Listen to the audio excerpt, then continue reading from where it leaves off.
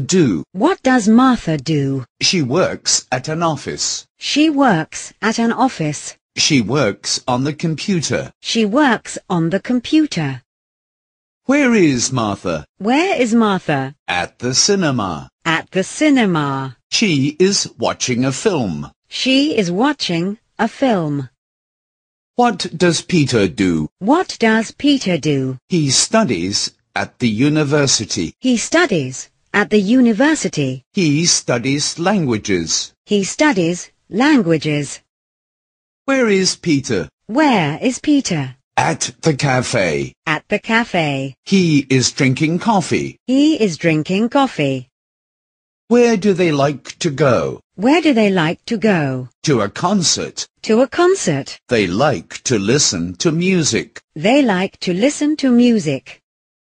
Where do they not like to go? Where do they not like to go? To the disco. To the disco. They do not like to dance. They do not like to dance.